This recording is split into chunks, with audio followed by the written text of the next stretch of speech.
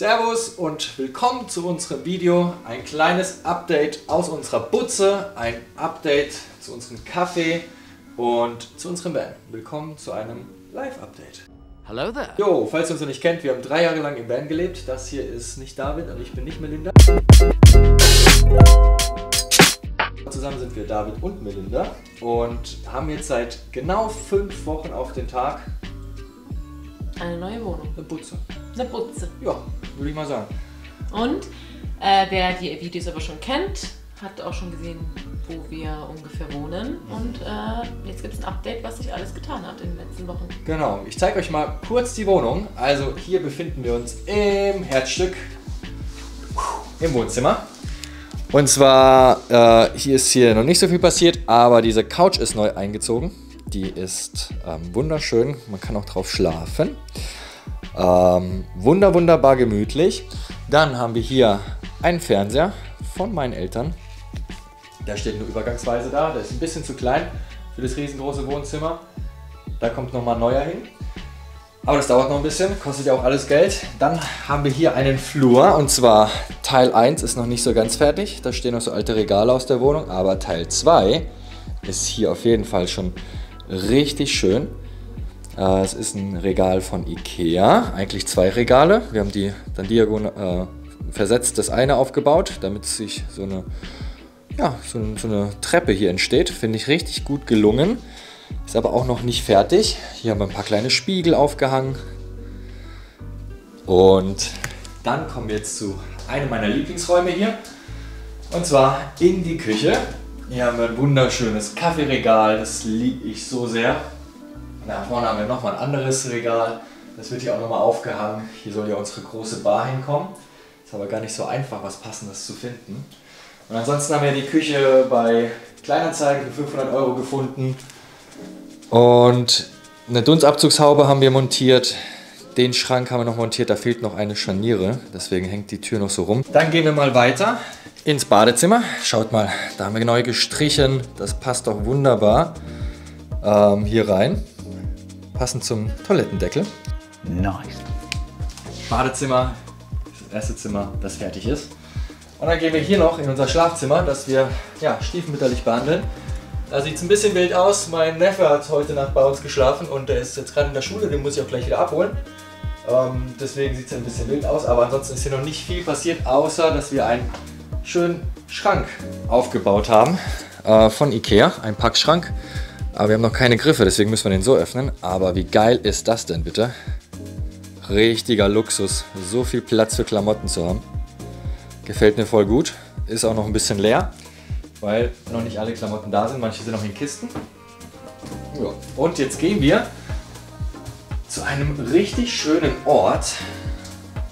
Und zwar auf unsere Terrasse, die, glaube ich, größer ist als die ganze Wohnung.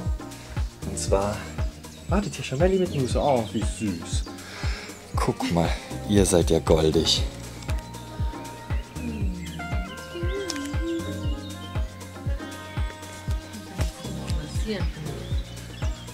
Ah, und zwar ist das richtig schön hier. Wir haben uns jetzt toll gemacht, die Terrasse. Wir haben richtig lange hier gearbeitet, um die schön zu kriegen. Jetzt haben wir da hinten ein Hochbeet, eine kleine Palme. Und hier haben wir einen Olivenbaum.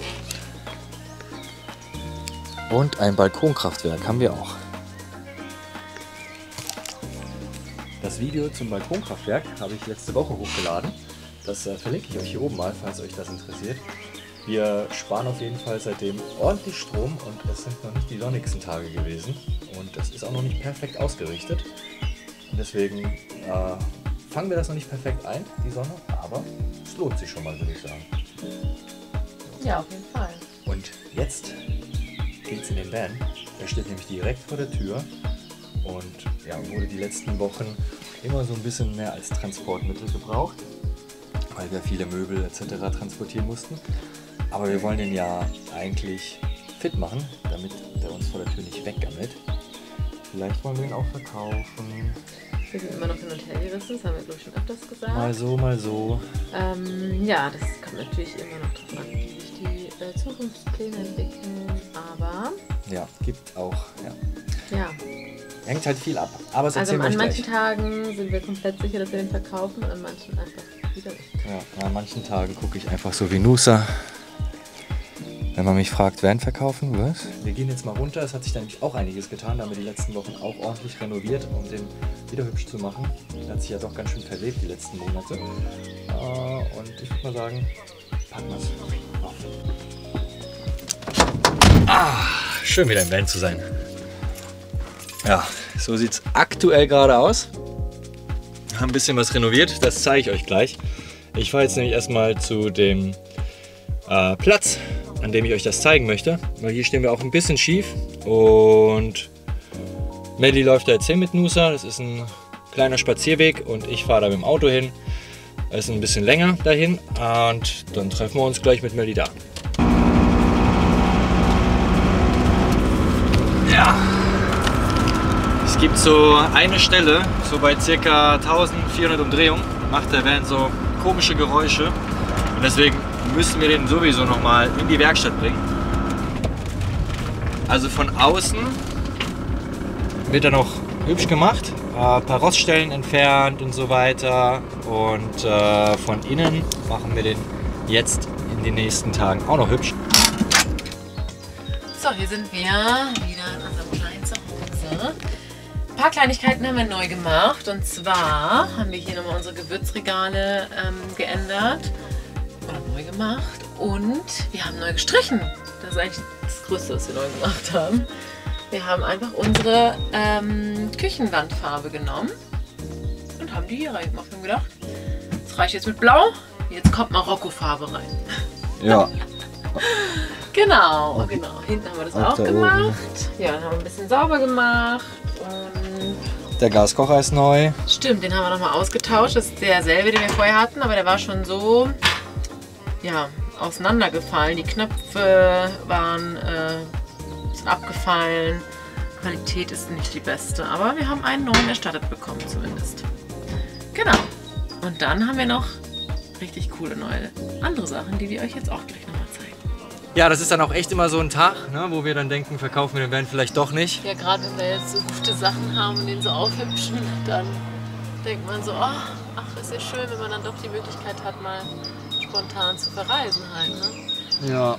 Das wäre halt richtig schön. Aber auf der anderen Seite müssen wir auch ehrlich sagen, ist es halt ein Wohnmobil und der ist halt auch zum Wohnen und zum länger Verreisen gemacht. Und aktuell sehe ich halt nicht, dass wir da jetzt die nächste Zeit äh, mehrere Wochen am Stück damit verreisen. Ja, und ist die Frage, ob sich das lohnt, halt zweimal im Jahr den dann halt zu nehmen äh, und zu verreisen und sonst die ganze Zeit vor der Tür halt quasi stehen zu lassen. Wäre es eigentlich cooler, wenn jemand anderes das vielleicht etwas besser ausnutzen kann und länger damit reisen würde.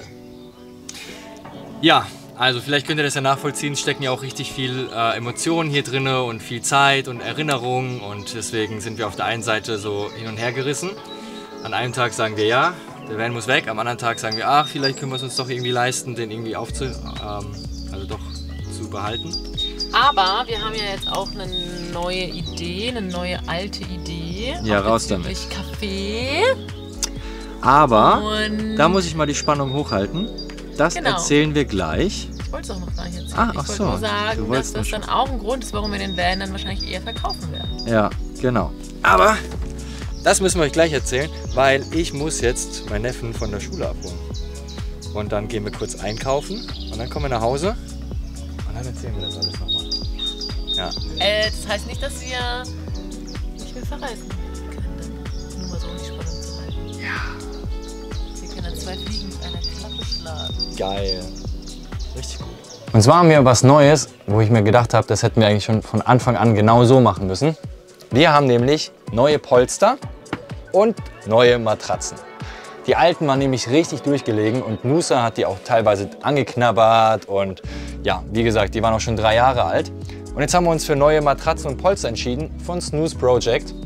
Die stellen nämlich Polstermatratzen individuell nach Maß für euren Van oder für die Terrasse oder für den Balkon oder für irgendeine Sitzecke, die ihr äh, neu einrichten möchtet, individuell in Deutschland her. Wir haben hier natürlich ganz spezielle Maße und deswegen kam uns das sehr gelegen, Äh, das habe ich dann hier ausgemessen, habe es dann einfach bei Snooze Project auf der Webseite beim Konfigurator eingegeben, konnte mir da verschiedene Modelle aussuchen und dann wurde das innerhalb von vier bis neun Tagen, wird dir das nach Hause geschickt und wir hatten das, glaube ich, nach sechs Tagen daheim.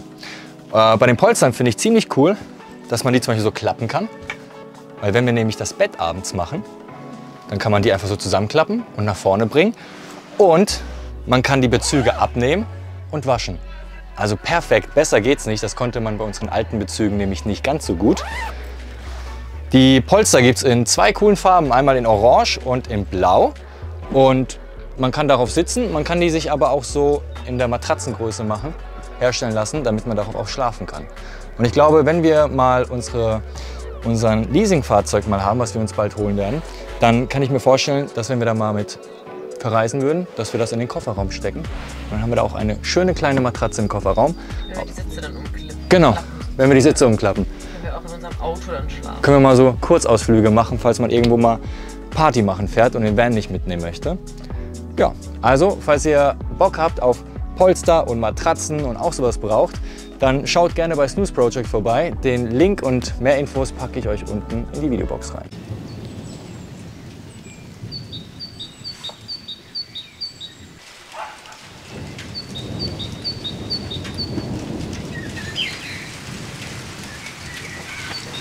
Unser erstes Sommergewitter und wir können hier trotzdem auf der Terrasse sitzen. Es ist richtig schön warm und es regnet gerade so schön.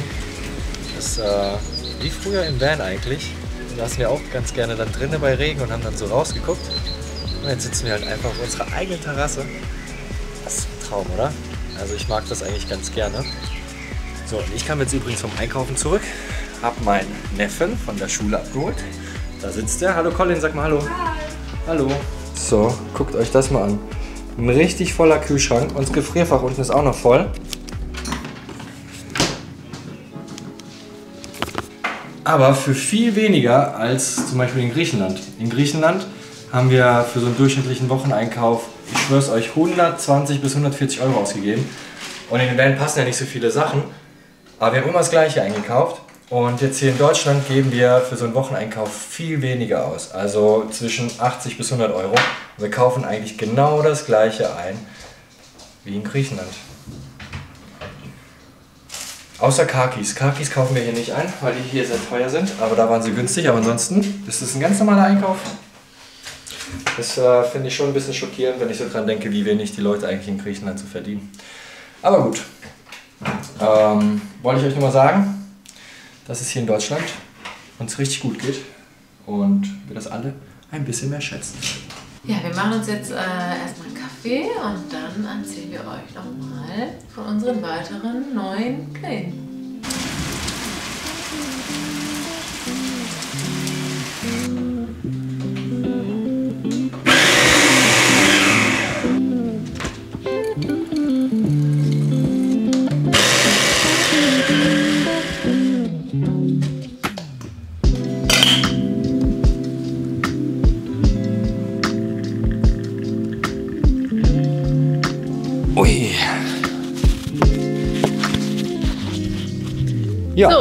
Jetzt äh, daten wir euch mal mit den Cafés, Café-News ab. Wir kriegen oft auf Instagram immer die Frage, wie es denn äh, ja, mit unseren Kaffeeplänen weitergeht. Wir haben nämlich auf Instagram geteilt, dass wir uns für einen Kaffee beworben haben.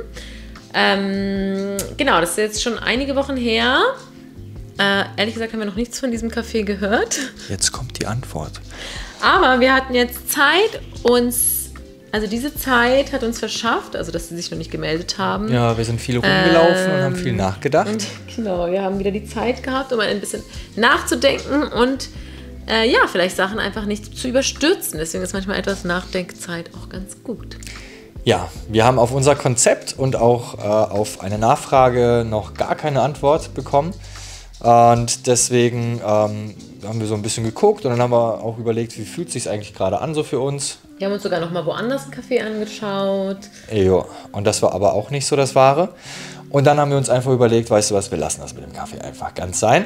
Äh, zumindest mit dem festen Kaffee. Genau, wir hatten ja schon mal die Idee, ein mobiles Café auszubauen. Und damit die Reise auch nicht ganz zu Ende ist, auch wenn wir jetzt einen festen Wohnsitz haben, Ähm, das wäre es wahrscheinlich erstmal mit einem festen Café. Und wir haben gefühlt, jetzt wo wir gerade hier ankommen, dass dann doch, dass wir merken, okay, wir haben doch Lust, uns nicht so abhängig zu machen und so, so sesshaft zu machen, dass wir halt gar nicht. Nissa, warte, wir machen doch gerade ein Video. Gleich. Mann, wie süß. Ähm, ja, dass wir dann wirklich sehr gebunden sind und dann Reisen auch nicht mehr so einfach ist. Und deswegen haben wir gedacht, äh, gehen wir doch zu unserer Ursprungsidee zurück und machen ein mobiles Café. Ja, denn das war eigentlich so die Idee, erstmal die Wohnung fertig zu machen, das hier alles ein bisschen zu genießen und uns dann um das mobile Café zu kümmern. Und dann kann man uns halt äh, für alle möglichen Sachen mieten. Firmen-Events, Hochzeiten, hast du das gerade schon gesagt? Nein, haben wir noch gar nicht Äh, ich war nämlich ein bisschen abgelenkt von Nusa. äh, Food-Festivals, Stadtfeste und alles Mögliche. Und wir können dann immer frei entscheiden, welche Aufträge nehmen wir an und wo fahren wir hin. Vielleicht auch sogar mal in andere Länder mit dem mobilen Café Ja. reisen und dort sich hinstellen. Ja, das ist jetzt äh, unsere Idee und ich denke, daran halten wir jetzt fest. So, das ist der Stand der Dinge. Und das wäre richtig cool, wenn das klappen würde. Und das wird auch klappen. Da sind wir uns ganz sicher. Weil dann haben wir nämlich einmal mit Social Media ein Standbein. Das macht uns mega viel Spaß, euch überall mitzunehmen. Und der Austausch mit euch ist auch richtig schön. Aber es ist halt nur ein Bein und auf einem Bein steht es sich immer ein bisschen wackelig. Und deswegen wollen wir uns dieses zweite Standbein aufbauen mit dieser Kaffeekutsche. Und das wäre halt richtig cool, weil es so die total perfekte Verbindung wäre. Und ja, wir eigentlich schon seit Könnten wir auch zusammen sind. mehrere Leute treffen von Ja. unterwegs, als wenn wir jetzt nur an einem Ort einen Kaffee hätten. Und dann können wir zu euch kommen und ja, das stellen wir uns richtig cool vor. Dann k- nehmen wir euch auf jeden Fall mit, was für ein mobiles Kaffee wir uns holen, wie wir es ausbauen und haben natürlich ja auch coole Sachen zu berichten. Korrekt. So, aber wir wollen das Ganze jetzt auch nicht so in die Länge ziehen, weil wir beide haben. Komm mal mit mir ein Herz. So, ja. Wir haben nämlich Hochzeitstag. Und zwar. Das verflixte siebte Jahr. ja, aber noch nicht heute, auch nicht morgen, aber in den nächsten Tagen. Und deswegen sagen wir: Ciao, ciao, macht's gut. Wir melden uns bald wieder. Bis dann. Kussi.